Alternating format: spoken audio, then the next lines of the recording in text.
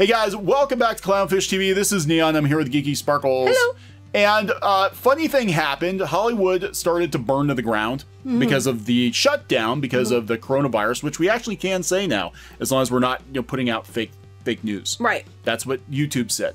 So we're going to talk about that. So because Hollywood is burning to the ground, the Writers Guild is telling live action writers to go slum it in animation. Which I think is insulting as heck. It the whole thing is very very insulting and we're going to talk about that because animation is its own thing, writing for animation is its own thing and now they're going to push all these live action uh, live action writers over to animation and a lot of people in the animation industry are not terribly happy about it. Well, I don't blame them.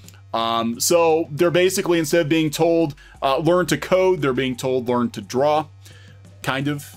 Uh, maybe not quite because you know they are writing, but that that's the thing. Traditionally, people who write for animation are also artists. They understand the craft, they understand how the whole thing works, and these people don't. No, no, they don't. And we see this when we see this before other and other things. We're seeing, I think, with some of these shows that are falling flat. Yeah. they're bringing in people uh, that aren't from animation who didn't work in animation. They might have done a couple things on the side, in comics or whatever, or, or they went out. They were out just doing you know live action shows and brought them over and like here, write this, and then you can tell they don't get it. They don't understand it. Yeah, so we're gonna talk about this. Uh, so we have to backpedal a little bit, backtrack here a little bit. Uh, we did mention in previous videos that animation production is still going ahead, even though live action productions, because of social distancing, have for the most part stopped. Animators are still working. People are still working at home. Well, yeah, you can work at home if you have the equipment. You can tell you do it at home. So it's still going. So of course there's opportunity. So this article came out a couple days ago in Deadline. Um, this is coming from the WGA, the Writers Guild, and they're basically telling everybody you can still get work. You can still get work if you just go slum it in cartoons for a while. Like, I take it as you can still get work if you go take over their their lifeboat. yes, and That's that, how I take it. and we're going to see this, uh, you know, in relation to what we do with comics. We're going to see a huge influx of displaced comic book creators who are going to try to jump ship to YouTube Mm-hmm. and jump ship to crowdfunding and webcomics and all these things that they mocked for years Mm-hmm. because that's the life raft. And, and animation is a life raft now, even though a lot of screenwriters look down their noses at people who write animation. Which is stupid because some of these animation, the animated films are, uh, you know, bigger deals and have better stories than what you're seeing in live action on, on some cases. And here, it just reminds me of, yeah, they make, they, they can still keep going. Hurry, quick, take their, take their biscuit. That is Push exactly them out. Take their biscuit. Take their boat. Yep, and that's it. So they put this thing out on Deadline a couple days ago. They were like, "Hey guys, just because Hollywood's ground to a halt, uh, many animated programs have continued production. As a result, we've heard from members that studios and producers are increasingly interested in developing animated projects. This is important. um, This is an important moment to remind you that the WGA can and does cover writing for animation." So if a producer tells you the Writers Guild doesn't cover animation, that's not true. Basically, go in and push everybody else out who earned their spot. That is it. Uh, we're open to negotiations, writing an animated project. They told, okay, so here's the thing. Animation writers, most of them are covered by the Animation Guild because that started with animators. Animators got into writing stuff. Storyboard artists became the writers on This the is a lot too with comics and webcomics, especially, and things like that. They always wrote their own things. Yeah, so they're pushing in because they're desperate. The problem is, is there's been a lot of friction between WGA writers, you know, coming into the animation scene and thinking they own the damn place. Well, yeah, because well, I'm a WGA writer.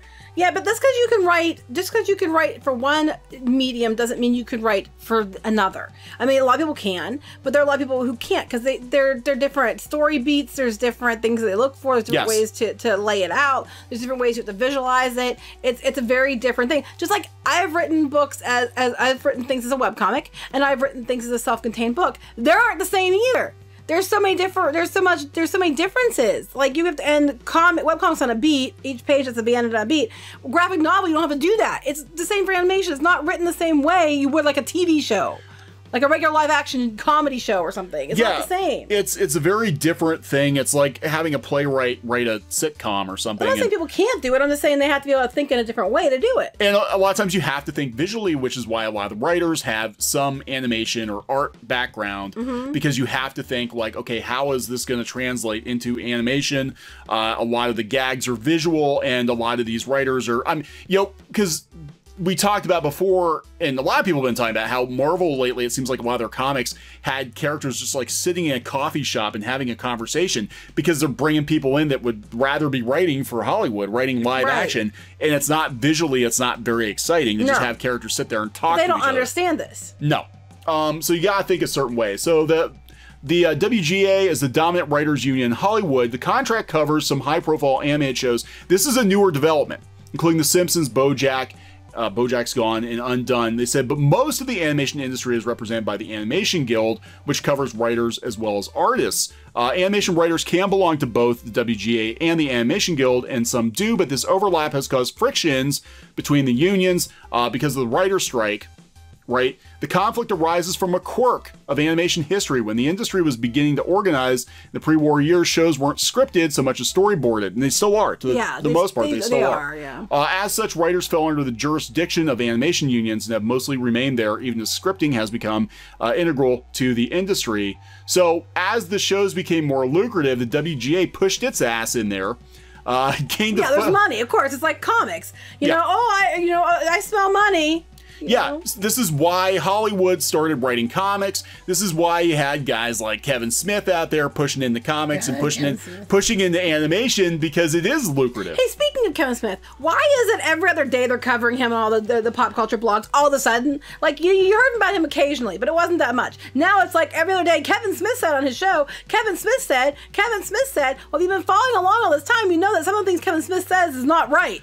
Uh, I think he's got a new PR person, or he's trying to stay relevant because his live action stuff is drying up and he's doing. I don't know. I just thought it was odd. Like maybe it's because I'm noticing it now since he got his you know panties in a bunch for you asking a simple question.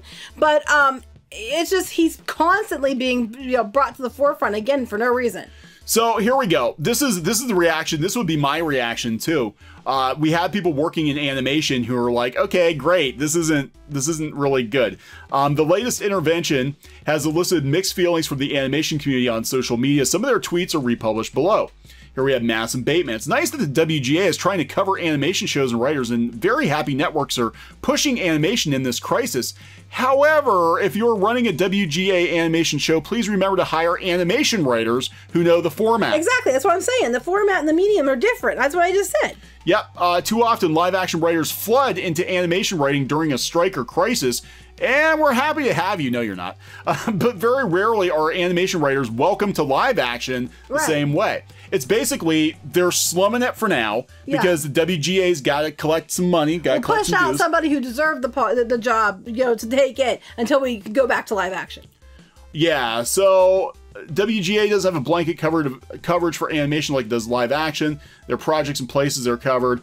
Uh, yeah, so here we go. Yo, animation showrunners, WGA is cool, but if you refuse to be covered by the Animation Guild, then the studio can make all the designer and artist jobs non-guild. You set the precedent wherever the union. Protect your artists. Protect your artists. Um, this is interesting. Now, because of uh, COVID, they're asking new animated shows to go under WGA contracts, which, which will possibly take work away from us and give it to live action writers that will suddenly start writing animation because they they can do that. We just can't do the reverse. Yeah. So basically, you they can go slum it and take your jobs, but you can't take theirs.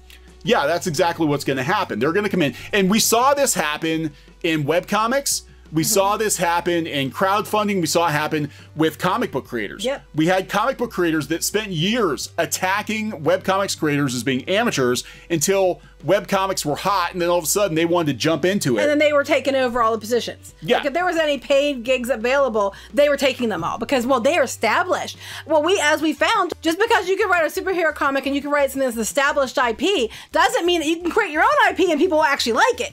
When you're a webcomic person, you actually have to create it and have an audience on your own merit. Then, then it becomes a meritocracy, and these people couldn't hack it when they weren't just handed an established IP. Well, we saw it. We saw it with uh, a lot. In the, the really frustrating thing is the comic book industry called webcomics creators uh, amateurs Mm-hmm. for years. They did. Um, they called crowdfunders e-beggars. Yep. And then they, they when they saw the money was there, they started uh, you know using both. But then they they sort of dropped it as soon as it wasn't hot anymore. Uh, at least with webcomics, so, you know, we had Mark Waid jumped into webcomics briefly, didn't get rich right away, uh, dropped it, and then walked away from it and got into Yeah, we actually got caught up in something with that before. That's a whole other. story, but we were like going back and forth for months or something like that with his stuff. But um, you know, here it's just this whole idea that we can just come in and take it over, and whether there's money and where it's hot. And um, I know, like we mentioned before, you were at that one convention. I'm not going to name names, but one of these uh, comic book writers came in and got a deal with with uh, webtoons, and um, he was making this big, well, I am so and so, and blah blah blah webtoons to Kneon when they were both guests at a convention close to each other. And then he looked up our comics, saw that our numbers were way better than his numbers, and then he wouldn't speak to Kneon anymore because our numbers were better. Yeah, The was, difference was ours because it was based on merit. You couldn't just be assigned a comic book character that's already established. You had to get an audience on your own. Yeah, and people they, they like to just walk into a warmed uh, warm seat, and sit down. Mm-hmm. Well, now seat. these people are going to be taking characters and, and established IP, and they're going to get to write, write it because they're them. Probably. Um, this is funny because I just said this. I guess this is the ind- industry's equivalent to learn to code. Down the other side, getting mad at people for saying it and everything.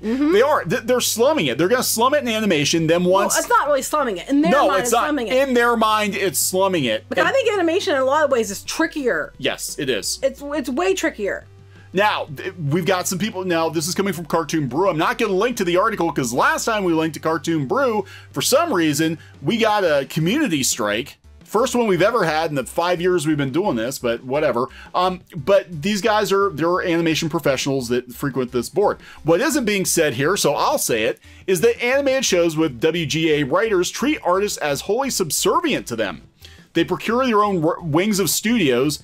Uh, if they're even in the bu- same building, they have their own kitchens and bathrooms. Wow, like when they afraid your food's going to touch, and then you're going to. Yeah, I know, right? You're gonna get cooties, artist I mean, cooties. art, yeah. uh, their own food and amenities. They don't talk to the artists or learn their names. They aren't team players.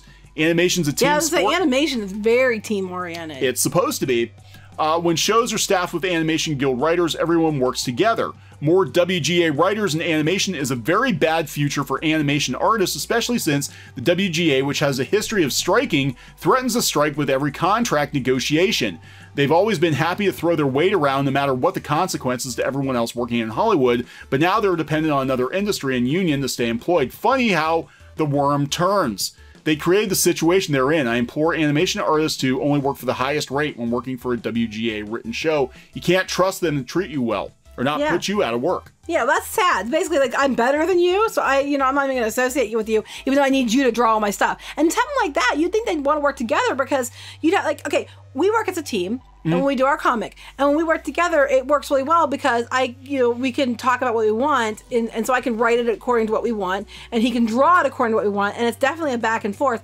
Because if he takes it upon himself to change the script without asking me, he gets his ass chewed out, which has happened a few times. But we usually work as a team to make sure we're on the same page. And that's how animation works. Like the writers are writing one thing, but if the animator's like, well, this might work better, this might not work in the way you're thinking, they can work it out and talk it out and make it better. In this situation, it sounds like they're just being elitist, locking themselves in their tower, and you know, Make my cartoon monkeys. and then they'll blame it on the anima- on the animators when it doesn't work out. Yeah, what blows my mind because uh, a lot of times, you know, again, animation's very visual. So, you know, if you've got like a gag or you want a certain, you know, thing that might maybe it goes against the script, but it would work better visually, then, you know, for the writers and the artists to sit down and, and do that and, you know, We normally would work together, Right. You know, board it Storyboard out it and out talk and- about it as it goes. Um, this sounds like they're just trying to decide what's what without asking anybody else. Yeah, I'm gonna, and this is kind of the problem with comics right now too. Is you've got these writers that come in, they think they're writing a damn novel, they write the thing, and then they Oh my god, some of the things are it's nothing but text blobs. Yeah, and they're like, here, just pass it off to a writer and go do it. Where it used to be a lot more collaborative. Or and Marvel, how visual. yeah, Marvel, how they used to do it is they used to give the artists usually a pretty, just a, a really rough layout of what happens in the issue. The artist would take that, break it up into like 24 pages, and then the writer would go back and add specific dialogue to it. And they called it the Marvel way because that that worked out better. But the Marvel comics tended to flow better because they had all the, the visuals kind of worked out. Um, you know, it was Well, more that's like kind of what they say. Like someone might be a good pinup artist, but they're not a good sequential artist because it's a different thing. They're both good artists, but they're better. At, one's better at storytelling. One's better at dynamic pinup. It's kind of like that. Yeah, so um interesting though. I think we're going to see a lot of people uh, slumming it in different industries and it's, uh, you know, I said look look for it in comics. You're going to see all these people jumping trying to jump to YouTube. They're already doing it Yep. badly.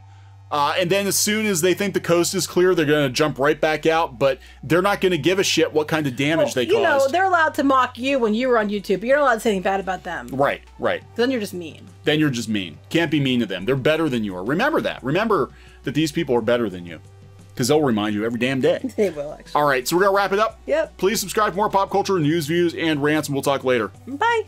Hey guys, thanks for watching Clownfish TV. Please consider supporting the channel. Go to clownfishsupport.com. That's clownfishsupport.com. And if you want to join our community, go to clownfishtalk.com. That's clownfishtalk.com. Please subscribe, ring the bell for notifications. We will talk to you next time.